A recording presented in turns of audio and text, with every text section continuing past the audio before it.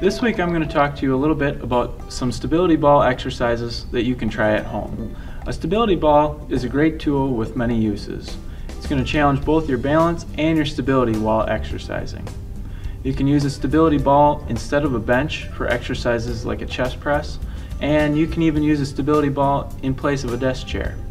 The first exercise that I'll demonstrate is a crunch. When doing a crunch, you're going to want to start with the ball in the middle of your back and keep your hips in place throughout the exercise. You're only going to want to crunch up high enough until you feel your abdominal muscles fully activate, and it's not necessary to sit all the way up when you're crunching. The second exercise I'm going to demonstrate is a squat.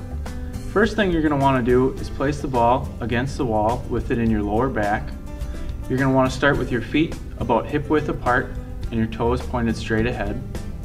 Squat down only as far as you feel comfortable and squat no farther until your thighs are parallel with the floor.